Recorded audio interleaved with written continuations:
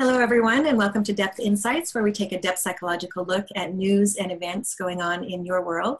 I'm your host, Bonnie Bright, and I'm also the founder of Depth Psychology Alliance, which is a free online community for everyone who's interested in depth and Jungian psychologies.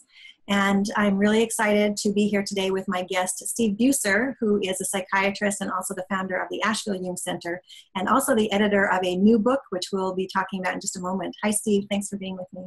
Hello, thank you. I'm delighted to be here as well today. Yeah, it's great to have you here.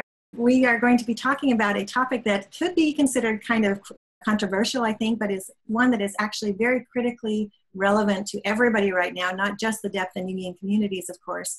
And that is somewhat around the topic of the election, but also around a figure who has been fairly controversial, and that is Donald Trump. So we'll get more into that. Let me just share a bit more about Steve so that everybody understands more about his background, and then I'll also give you a description of the book, and then we'll go ahead and launch in. Mm-hmm. So Stephen Buser, MD, trained in medicine at Duke University and served 12 years as a physician in the U.S. Air Force.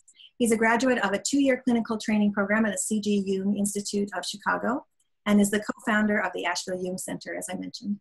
In addition to a busy psychiatric private practice, he serves as publisher of Chiron Publications. And Steve has just recently co edited a book called A Clear and Present Danger Narcissism in the Era of Donald Trump. And he co edited that with Leonard Cruz, which um, some of you might know as well. And so, Steve, this is a this is a big topic, and as I mentioned, highly relevant. And you and I have just had some conversation around how this came out in, in such a timely way according to how the election is proceeding. So I'd like to dig into that a little bit. First, I think it would be a good idea if we just discuss a little bit about what the book is, and maybe that includes what the book is not.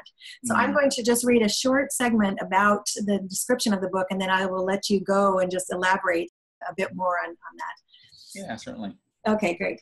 So, A Clear and Present Danger Narcissism in the Era of Donald Trump brings together best selling authors, university professors, and practicing clinicians. And there's this quote by Alexis de Tocqueville. It says, Every country has a government it deserves. Whatever history eventually records about the 2016 presidential election, this frank and thoughtful exploration of narcissism will prove to be a timely and timeless study. So, Steve, I just wanted to start off by talking about the word narcissism because that is very obviously in the title. It does say narcissism in the era of Donald Trump. I know everybody's tendency is going to be to leap to Donald Trump, and I think that that's probably a very valid response, uh, particularly given the, the kind of media coverage that his campaign has had and that he as a, an individual has had. But let's talk about narcissism first because there is such a thing as healthy narcissism. Can you talk about how you would define narcissism and maybe share a little bit about the differences between healthy and maybe unhealthy narcissism? Yeah, well, thank you. That's not a bad place to jump into the book with that. The first part of what you mentioned is really important that the book is and isn't about Donald Trump. The book is really about narcissism. The book was written by 18 different psychiatrists, psychologists, and a couple university professors looking at narcissism, but we can't deny that it's in the middle of the 2016 presidential campaign, and Donald Trump you know, really has stirred a lot of emotions you know, along those lines. So while the first third of the book is indeed a fair amount about Donald Trump, you know, much of the book is about narcissism in itself. When you define narciss- narcissism, of course, there's different ways of, of doing so. There's the very dry clinical DSM-5 you know, approach, and I brought our other book. This is the other book we published. We published two books that Len and I have co-written. This one is a primer on DSM-5. We published it shortly after DSM-5 came out. And in the book, we look at really all the psychiatric diagnoses, but of course, narcissism included. Our main focus of that book was more about uh, the spectrum of illness. That's not whether we have bipolar disorder or don't have bipolar, but all of us have a level of bipolarity on some level, and it's just where do we fall on the spectrum of bipolarity. The narcissism, though, from DSM 5, you can look it up. If you Google DSM 5 narcissistic personality disorder, you'll quickly find nine diagnostic criterion. And you can just list those nine from grandiosity to lack of empathy to fantasies of unlimited power to envy towards others and it's tempting to take that template of those nine characteristics and apply them to anybody, a spouse, a friend, ourselves, or a presidential candidate, and and try to diagnose or not diagnose them. And that was one piece we tried very hard not to do on a full direct level, you know, with Mr. Trump or really any you know, candidate. We do talk a lot about what Donald Trump has said, a lot of direct quotations from him that appear as if they line up with the DSM-5 diagnostic criterion. But if you really drill down into those criterion, the majority of those are all internal criterion, with one or two exceptions with that, meaning grandiosity. That if Donald Trump has or doesn't have grandiosity, it's a internal sense of grandiosity. He feels grandiose. If he lacks empathy, that's inside. He lacks empathy. Not that he appears to lack empathy or he appears to be grandiose. So the only way to really diagnose anybody with a personality disorder or any psychiatric illness is to be inside their head, so to speak, or at least you know talking, evaluating, and finding out how they think along those lines. So while we show the criterion and the characteristics we see in Trump and others, we were very careful to not diagnose with narcissistic narcissistic personality disorder. And that really goes back to the 1964 Goldwater election. We have a whole chapter on that. We don't necessarily need to go in depth in that today, but it talks about the APA, the American Psychiatric Association, decreeing that's really unethical for psychiatrists or psychologists to diagnose a public figure without evaluating them. So we we go right up to that line but we don't cross that line. Yeah, in essence. And the, I, I just want to be clear, maybe too, as it might be the right time to interject. You're not, as either as the editor or as an author in the book, nor are any of the authors really taking a stand on on a, a political stance on one candidate or another. Exactly and right. I, that was never the intention, and I think that's pretty clear in what you're saying. So between the two things, you know, not taking a political stand and not actually diagnosing any particular person with this, it really opens the the you know the field to an entirely different interpretation. And so I think that people can read it with an eye to understanding that this is a helpful book to allow them to consider the underlying and often unconscious factors that are actually at work at, at any given moment in time. Exactly so right. I just mm-hmm. wanted to mention that I had failed to do that at the beginning, but some of the contributors, which our audience might recognize, are people like Clarissa Pinkola Estés, which is widely known in a lot of mm-hmm. circles and is just a really profound thinker and writer. Uh, also, James Hollis, Tom Singer, Jean Shinoda Bolen, Len Cruz, as we mentioned, Nancy Swift Furlotti, Kathryn Madden, and Susan Rowland. And I know a lot of those people. I know you know all of them intimately. Most of them are Jungian analysts. A lot of them are very seasoned dream workers, working with the symbolic, working with Jung's uh, theories and different ideas. And so I think that it's important to remember that we're approaching this not only from a psychological standpoint, but also a depth psychological standpoint. Mm-hmm. And, and, that there is something uh, unconscious here at work that is available for all of us to tap into and begin to be, begin to understand not only what's going on in the culture better, but also to understand ourselves better on some level. Mm-hmm, mm-hmm. Absolutely. Far more interesting than the question of does he or does he not have narcissistic personality disorder is really what's going on unconsciously in the United States today. That so many millions of people have been so drawn to a unconventional figure with you know virtually no political experience and who says at times outlandish things yet there's millions and millions of people have been drawn to him. What is going on from a depth psychological perspective, I think is a far more interesting question within that. And many of the, the authors you know, really dove into just that. what are the unconscious themes that they're seeing in the US today and in the world today, you include Brexit and other parts of the planet as well, that are allowing this energy to come forth upon us. Mm-hmm. Absolutely. And, and you bring up such an interesting point about how there are these unconscious factors in the culture that are at work. I wonder if you can talk a bit about what some of the I mean, I think that this whole election has been so unusual so far. And it's not one that it's not like anything that people can remember at least in their lifetime and certainly that we don't really have documented history about. And of course there are a lot of factors that change that. It's the accessibility through media and just the right. proliferation of um, twitter. I mean that's been such a huge factor in this particular campaign. Absolutely. as well as, as other social media. And even all kinds of articles that are passed around on Facebook. And if anybody's involved in social media, there's no way you can have missed this. And it's just kind of inundating us. But I mm. think that not only have people really taken notice of this election, and some people are starting to get tired of it. I have to, I have to say that's pretty obvious. Yep. But I, w- I wonder if there are not really some fears that are kind of below the surface that have been activated by this, not mm. just necessarily because of the candidates. I'm not necessarily suggesting that, but because it's so unusual and different. And people really don't know where it's going and have not experienced this kind of. Um, I, I guess I should say there's a lot of factors that have shown up along the way that we don't usually see so blatantly, like like discussions around violence, discussions around just saying the wrong thing at the wrong time. Um, a lot of accusations, a lot of accusations between the candidates of lying and cheating, and that seems to happen in most election cycles. But this one seems to be particularly pretty intense in that way. And mm-hmm. again, not saying either candidate is right or wrong, but it's just it's different. So, can you speak a bit to maybe the unconscious fears that are being activated?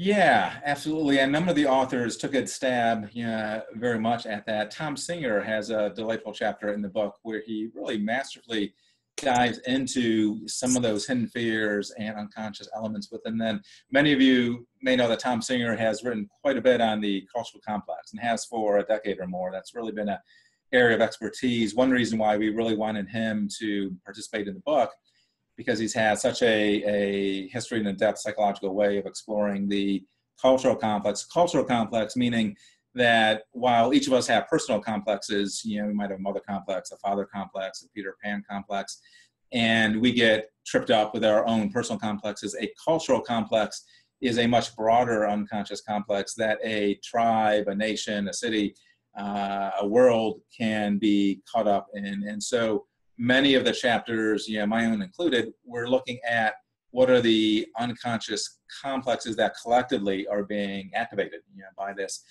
And the idea of the hidden fears and the unspoken thoughts being tapped into with a release of energy, you know, profound energy at these rallies and some of the violence even was a real key point. Tom's chapter really talks about the Trump campaign being masterful at really hitting some of these core messages that they tap into time and time again. The Make America Great Again, that's embodied on the, the hat itself. The Get Them Out of Here, which is a kind of slogan when hecklers were bothering some of the rallies. He would say, Get them out of here, and they would you know, take them out of here.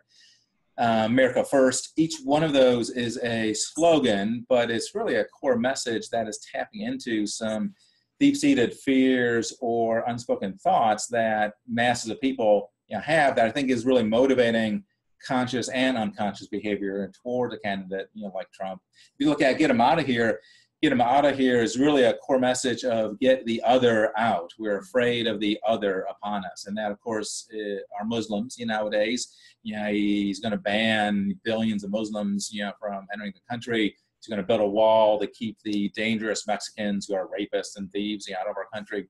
He's going to deport you know, millions of people with deportation pleas. You know, God knows how he's going to do that, but he will. There's this uh, keep the other at bay, the terrorists. He's going to keep the Syrians and the terrorists, you know, all these bad people out with that.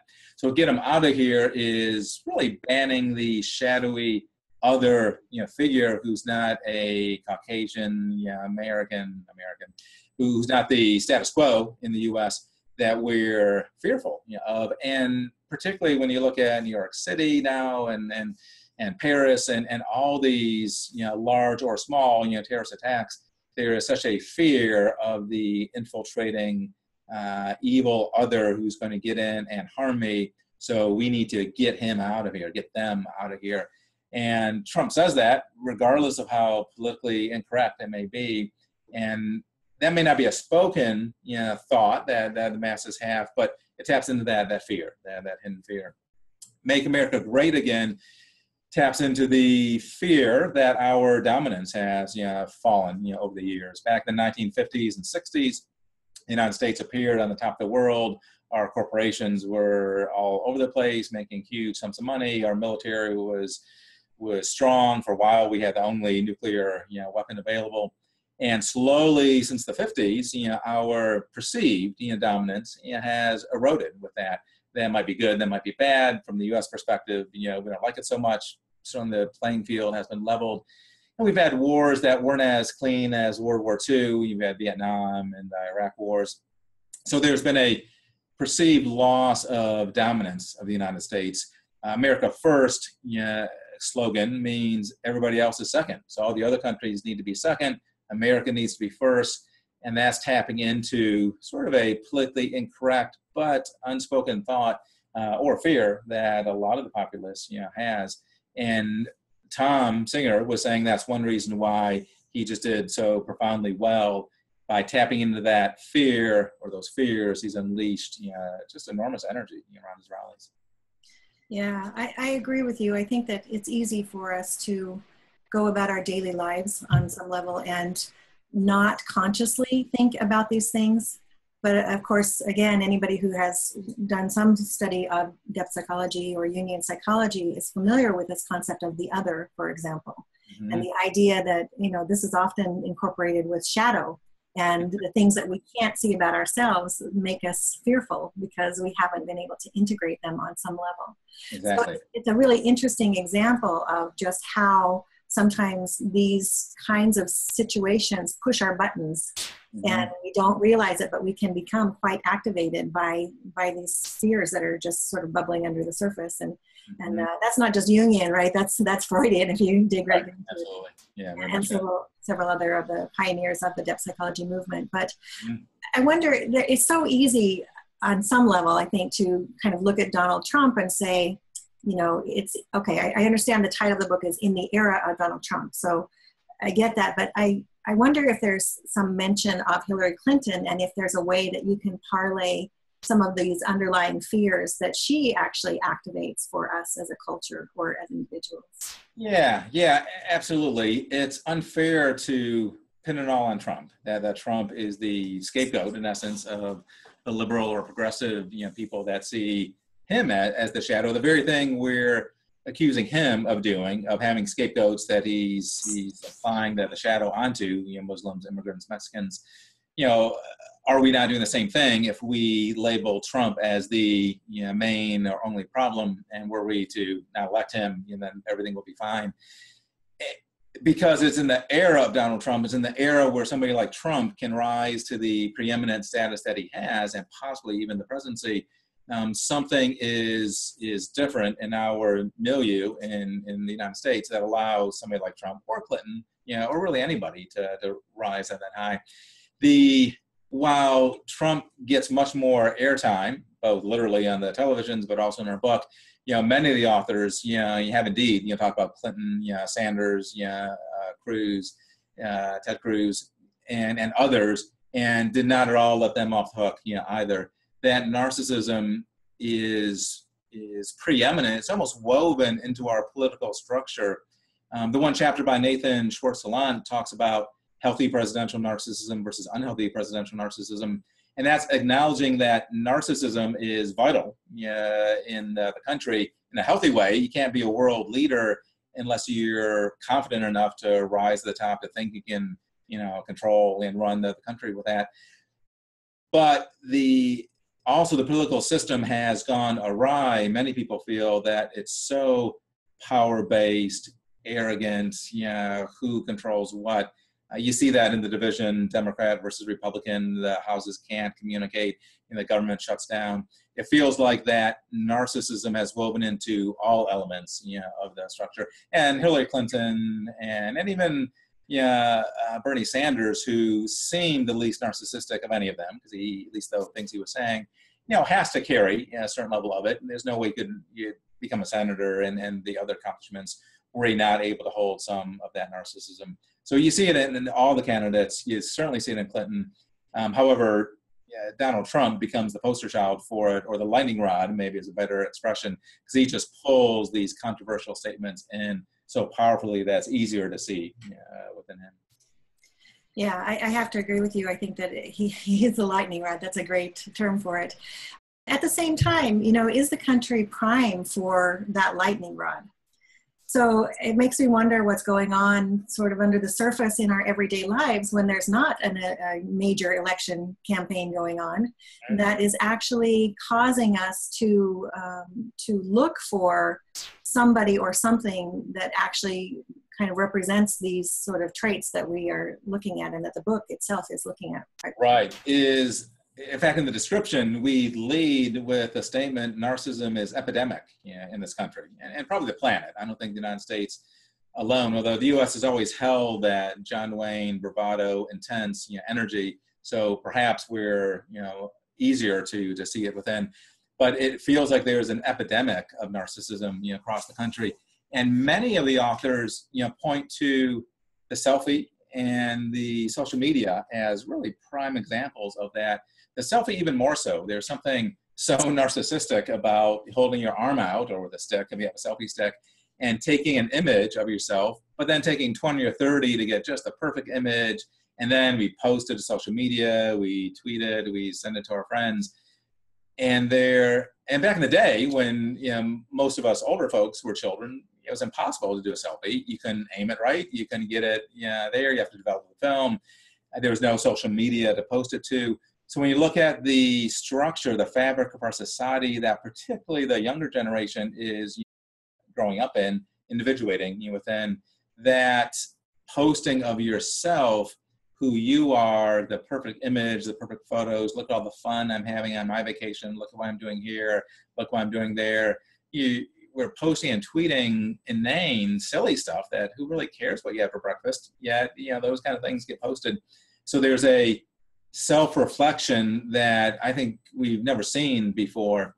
And narcissism, the myth, myth of Narcissus, is of course about the, the pool. He looks in a pool of water, he sees his reflection, falls in love with his reflection, and that selfie screen or the Facebook post, I mean, that's just a mirror, just like ancient Greek Narcissus saw as well. So there is something I think about this time in history that really spawns this kind of narcissistic tone and feel within our country.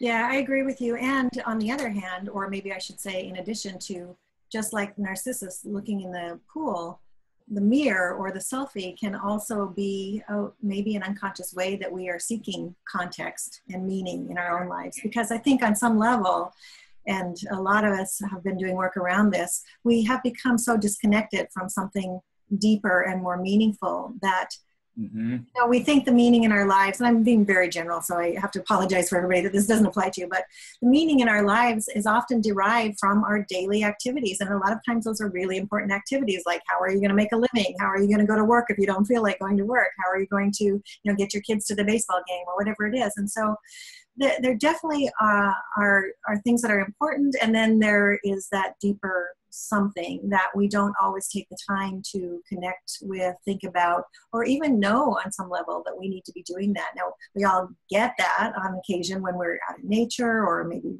hear mm-hmm. poetry or see an image that's particularly striking or something. What do you think about the idea that we are sort of disconnected and that we are actually seeking something to give us meaning? And how does that play into the whole narcissism piece of things? Yeah, I think that's well put because the mirror isn't all bad. The mirror is good. When the mirror reflects ourselves, we can a fall in love with ourselves and just get inflated and grandiose, and that's narcissism. Or we can look in the mirror and see reflections of possibilities, of uncertainties, of shadowy pieces, of inspirational pieces. So it's really what is the mirror activating? Is it a vanity response, which pulls us towards narcissism, or is it a depth psychological, which is trying to peer behind the mirror and what's going on within my soul? The mirror can be reflecting that. I think we're all called to a transcendent experience, which is hard in the daily life, particularly with all the well tweets and posts and all that social media, but even just life itself, even before all that, all that noise, taking time to reflect and go deep has not been easy, you know, for us as humans.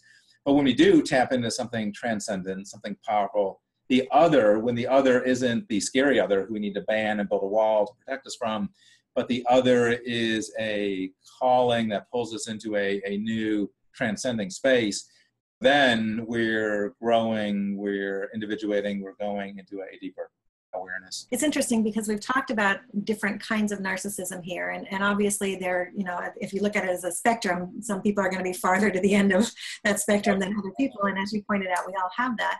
I'm wondering what the opposite of narcissism is. And the reason I, I'll tell you why I asked that question is because I recently saw a post on Facebook, and somebody said, Oh, I'm so fed up with this. I don't like this candidate. I don't like that candidate. So I'm just not going to vote.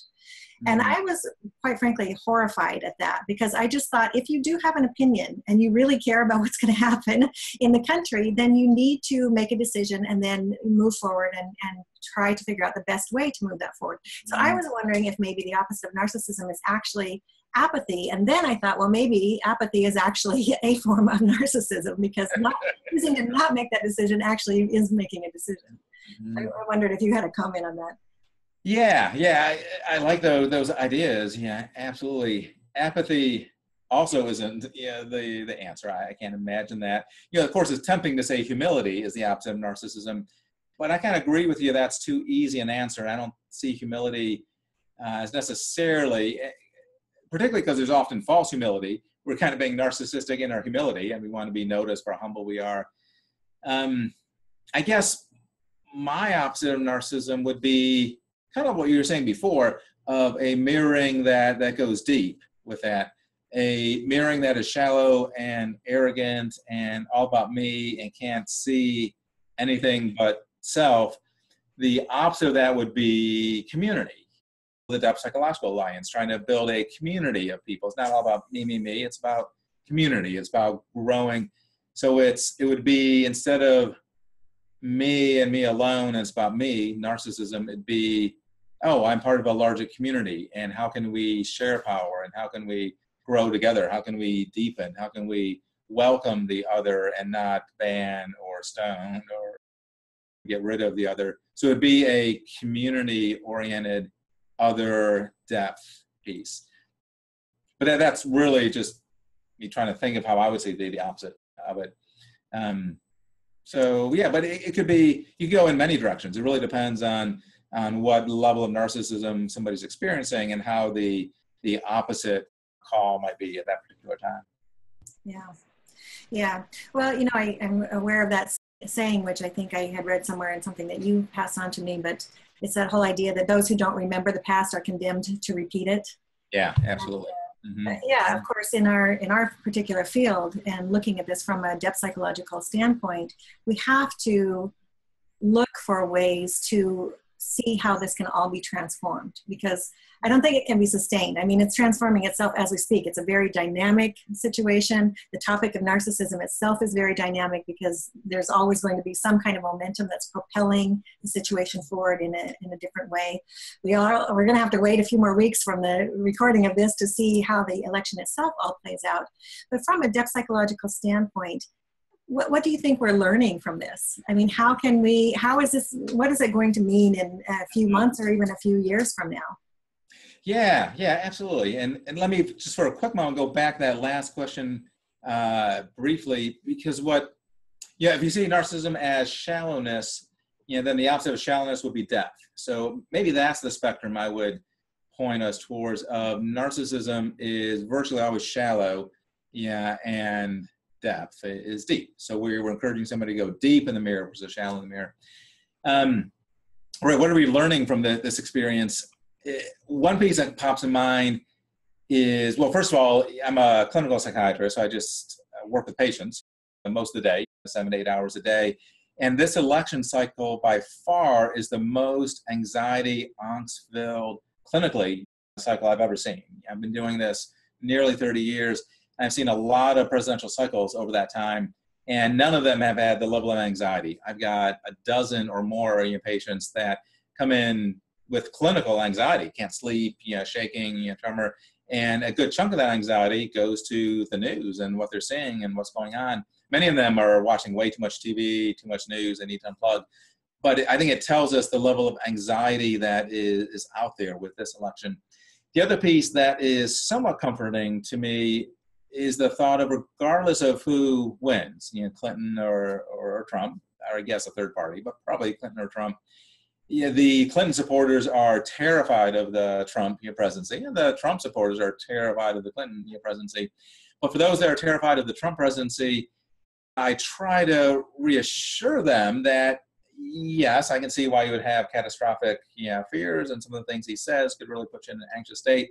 But who really knows what the secondary and tertiary effects of that you know, will be? Example, as you just mentioned, this is raising narcissism and other psychological elements into the public eye that have never been raised before. The whatever presidential uh, things he accomplishes, good or bad, could really create a secondary backlash, and the pendulum could easily swing in a different direction.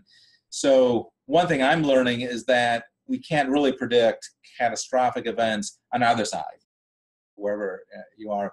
Then, I think probably more directly to answer your question, um, I think it's really, for me, has woken me up to really look at our field from that, well, Tom Singer's cultural complex perspective. Of I'm so used to working with individuals and their unconscious and their complexes and their depressions and their anxieties. But while I've been aware of, of Tom's work in the cultural complex, this is right in the forefront of my goodness, what is going on that the country is so moving towards such an unlikely candidate. So the awareness of the collective angst, the collective fears, and that we as a nation and as a planet need to stay tuned into that because those fears and unconscious complexes can really create very strong consequences for us. Yeah. Yeah, I agree. And one thing that we haven't really discussed here today is the whole idea of the I guess you could call it the hero complex, and that is, or the savior complex, maybe is a better word for it. And that is the idea I think that comes around with every presidential election that we're really looking and kind of desperately hoping as a collective for somebody to come along and save us, right? save, the country, save us as individuals, save our jobs, whatever is happening for us, save the economy. And uh, and so you know, it is interesting to see how these two particular candidates are the ones that have emerged out of all the other candidates that were in this mm-hmm. this particular race and, and to just wonder why it is that that has happened. And again, it takes me back to how unusual actually both of them are if you start looking at it from an age standpoint, from the, the histories of both of them. You know, they both have a lot of baggage that goes with them. Hillary being the first woman candidate and also having been the, the wife of an ex-president is a very unusual situation. Donald Trump being a business person and coming from that world and not having the political background. I mean, all of these things are really profound. And yet, of course, what happens for me when I start thinking about it all is I come back to this, I mean, the era of Donald Trump, such a, a catchy phrase. It, it, says something to me. I suspect it says something to almost everybody. So it's a really brilliant tagline, mm. I think, for the book. But it keeps making me think of the age of the Anthropocene, which some people have been hearing more and more lately. The Anthropocene is really the idea of the age of the human. It's the next era that we are just entering where mm-hmm. humans are central to everything. It's no longer the Pleistocene or the age of the dinosaurs or whatever it is. Humans mm-hmm. are making such a, a profound difference to our planet and when you're looking from an ecological standpoint it's really scary. Mm-hmm. so what uh, what do you think what stance do you think that narcissism how, how does that relate to our ecological issues and our relationship to the planet? Because in the end it kind of all comes down to that. Right. No question. And you could absolutely apply that age of narcissism yeah era of donald trump perspective to what the heck are we doing to our, our planet that people seem to gradually be awakening to, but it's a slow process. The narcissistic stance to the planet would absolutely be one of just using it, you know, exploiting it to the most ability. If if we as individuals or as a collective are in a narcissistic space, it's all about me or it's all about us. And it doesn't matter if we strip the earth, the resources, if we pollute the air, it's because it's about me and my profit and, and my company or, or my whatever. So the narcissistic stance would be very almost oblivious to ecological damage that's being caused with that because the narcissistic individual leaves a trail of damage individuals and systems around them.